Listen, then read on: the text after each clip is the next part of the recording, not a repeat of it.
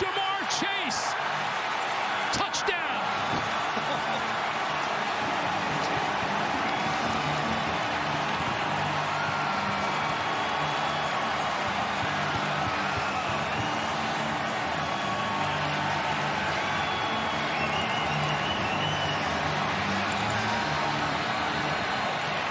oh, they've been looking for it, Greg.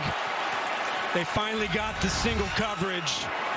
And Chase is just going to do, he is so good at running the go route. They finally got the coverage.